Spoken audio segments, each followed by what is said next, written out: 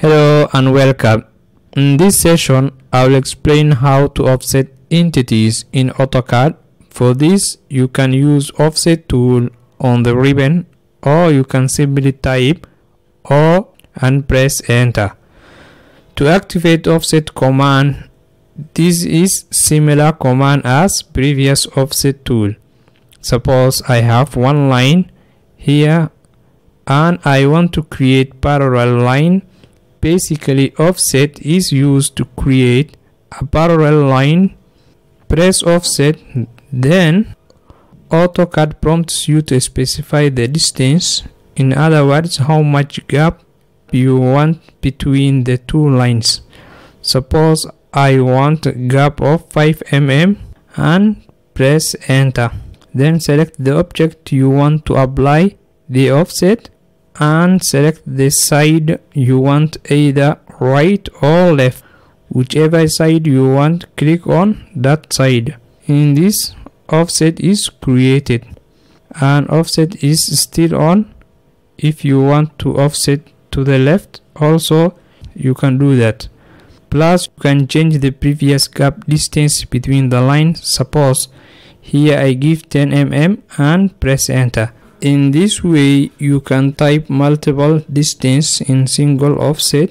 If you do any mistake you can do it right here in this option of undo. Press enter to end the command. So we will see other remaining option of offset tool. Select offset click on this through option. Basically through is used when you don't want to give offset distance so click the object here. The distance can be anything. It is not specified anywhere. You can click or in this you can specify distance also. Type 5m 5 mm and press enter. So the distance between this line and this is 5 mm so press enter to end the command. So next is select first then there is erase option. Original object can be erased using erase command.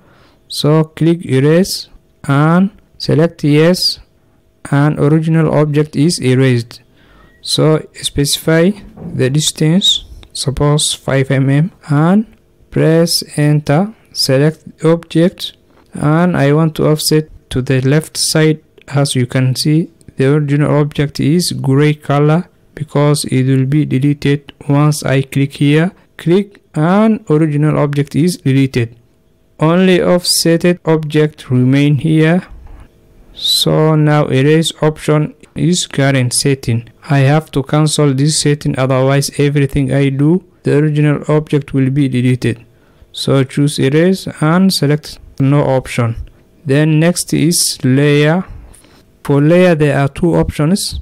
Create offset on the current layer or create offset as per source layer. Let's see in practical what this means. Suppose we create a layer in this layer. Suppose we create two. I give different color to understand easily. So select this line and select this first layer. Press escape.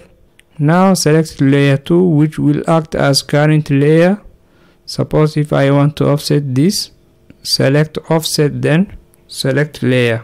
AutoCAD will prompt you to choose the layers so I will choose the current layer. Current layer means the layer which is always shown on the screen. So offset give 5 mm to the left and click. As you can see the color is red which matches the color on our layer suppose I want to choose source layer you can do that. Select offset select layer select source type 5 mm distance to the left side. So offset of source object is created in this way. Some other option is there. Let's see. It is all these lines. Leave this line. We will use choose offset suppose distance 5 mm enter then select object. Here it is showing one more option which is multiple. If you choose this and click right side it will create multiple offset. With the gap distance we have provided previously. In this way we can offset multiple option in single offset command.